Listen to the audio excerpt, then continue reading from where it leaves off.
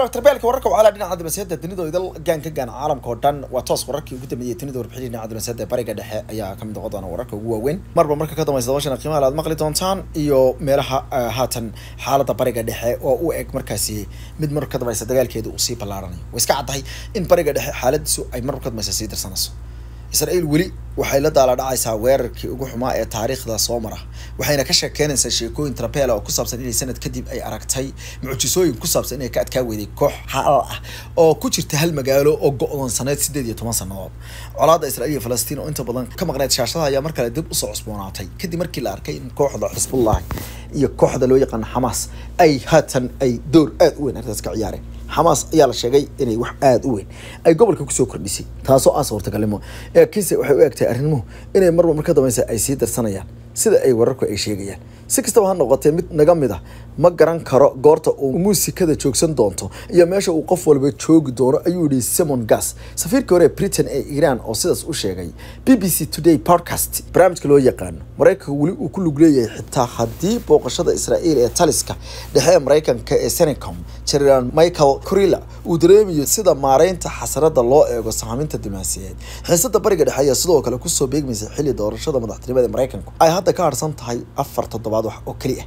Hadda caqabada degdega ayaa ah in si fudud looga hortago colaad ballaaran oo gobolka o dhan ka qaraxda waxaa jira fikir guud oo ka dhex jira xuluufada ee ah in israa'iil ay xaq u leedahay inay ka jawaabto weerarkii gantaalaha plastic missileska asbuucyadii ugu dambeeyey iyo kuwii markaasi ugu dambeeyey ee qaaday iiraan. Hase yeeshee tani waxay u muuqataa inay keeni karto dagaal aada iyo aada u weyn ayadoo la sheegay in doorka reer galbeedka gaar ahaan kan maraykanka uu qaatay uu eegyahay mid gebi ahaanba gobolka oo dhan humati la'aan ka dhigay iyo sidoo kalena siyaasadii dalka maraykanka ee arrimaha dibadda iyo jaangoynta lahayd. Caddaydna islamarkaana mararka qaarkood ay dalalka xataa kuwa ay saaxiibada leeyihiin oo israa'iil ay ku jirto ay sii jireen redlines aan laga gudbin. Hadeerta ay qayootay islamarkaana ay jahawareer noqotay. Dabadeedna ay mar mar ka dambaysa isku bedeshay yacyacood kolkaana la kasi waayey meeshay jirto. Hase yeeshee hadeerto yurub waxa ay ka hadlaysaa dagaalku inuu noqon doono mid aada iyo aada u foolxu waddamada reer yurub ayaa mararkan waxay sheegeen in laisweydiiyo haddaba. Ma la sii taageeri karaa waxa ay israa'iil ka sameynayso bariga dhexe oo qaarkood ay qabaan saraakiisheeda iyo ragga ugu waaweynaa inuu yahay xasuuq. Wasiirkii koowaad ee hore ee wadankaasi dominic delivelin ayaa waxa uu ka hadlay arrimo waaweyn. Mid ka mid a raggii ugu miisaanka cuslaa ee taariikhda wadankaasi soo mara waana ninkii dagaalkii ciraaq waagii ra'isul uu ahaa dalka faransiiska diiday in wadankiisa ay u codeeyaan. Isaga iyo madaxweynihii jack jack loola jiray. Laba nin oo ragga culculus ayuu ka jira hadeerta wuxuu sheegay in waddamada reer galbeedka uu faransiisku ka mid yahay. Ay ka fakeraan inay sii taageeraan benjamin netanyahu oo uu weli raadinaya ayuu yihi taageero reer galbeed. Wuxuuna sheegay in gebi ahaanba israa'iil aysan ku guuleysan karin sidatan wuxuuna ku tilmaamay in aysan ahayn wax sax. Wuxuu yihi markii hore waxaanu ka hadlanay toddobadii bishii oktoobar labadi kun iyo saddex labaatankii wixii dhacay inay ahayd inay israa'iil isdaafacdo laakiinse ma ahayn ayuu yihi in la siiyo shati aan xuduud lahayn kaasoo ah inay dadkao dhan dilaan dadkao dhan laayaan meel kasta burburiyaan wadamo kale ku duulaan ayuu yihi the philippine.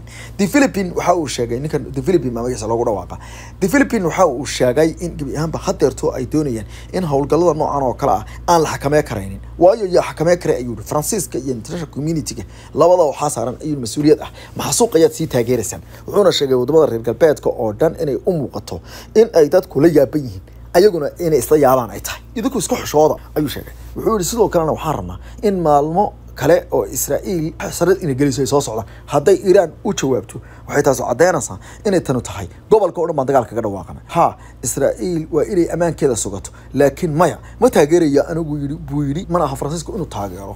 Mas'uuliyad darrada iyo xilkas la'aanta ayuu yihi netanyahu wuxuuna sheegay in gebi ahaanba adduunka wixii ka dhacay waxa ka dhashay ay tahay inaynu limunay ayuu yihi kalsoonidii dadka iyo bani-aadanku inagu qabay taasoo muujinaysa ayuu yihi mid aada xun. Netanyahu waxaanoo dhan xun sameynaya dantiisa ma aha ayuu yihi uu civilization ama ilbaxnimo uu taageerayo ama uu difaacayo waa arrin keligiisa waa arrin shaksiyadeed isaga ayaa raba inuu xil ku sii joogo. Waa muddo dheeraysi iyo sidoo kale inuu dhiig marba mar ka dambaysa faraha sii geliyo oo u arko wuxuu ku helayo lib uma uu ku helayo siyaasad ama uu ku sii fadhigi karo kursi ayuu ka digay. Wadamada reer galbeedka ayaa u muuqda markan inay ku daaleen.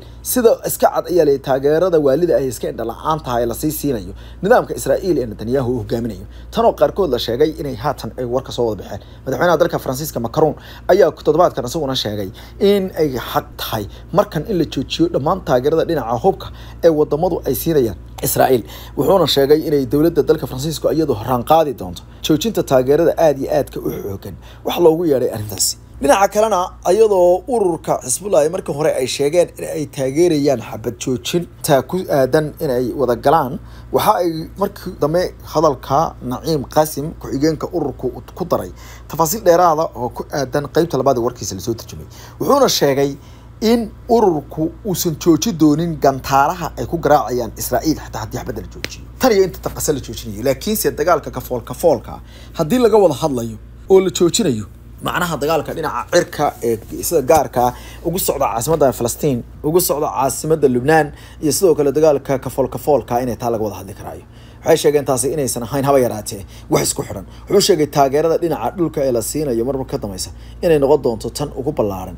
Uguna muhiimsan ee ay u fidiyaan dadka reer falastiin. Lagamana gabangaabsan doono.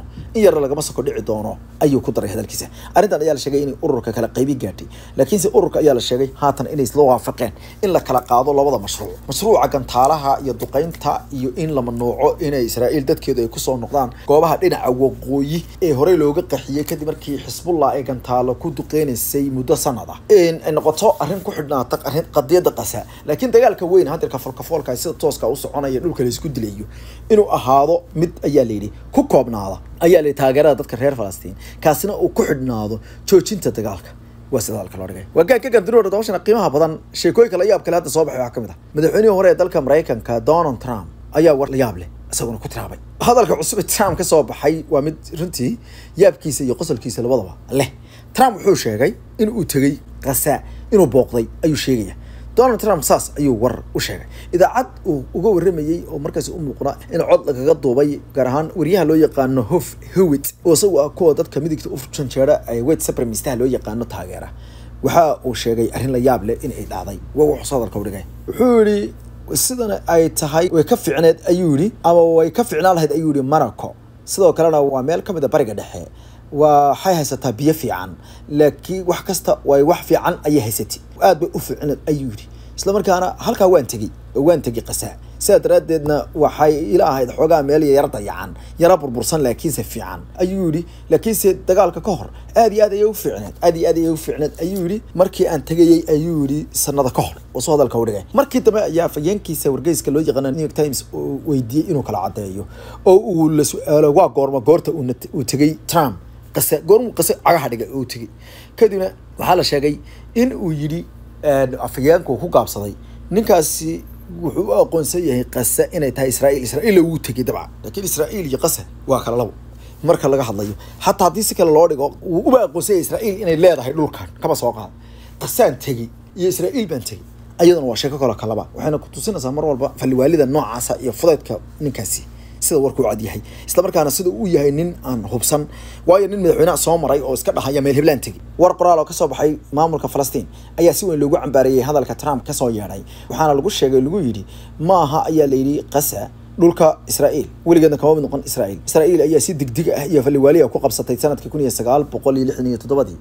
Gebi ahaanbana waxay u muuqataa ayaa layidhi in ay muujinayso mar kale meelka dhacyada iyo fudaydka mr donald trump trabeelka wararka waxaa la dhinaca darasada hawshan qiimaha wararku waa trabeel eebba idamkiis hurfadhi media group dhowr warar ayaa daawateen. Kuwo kaloo dhowran waa daawan doontaan haddii eebba gaanka gaandani doonatan hawshan qiimaha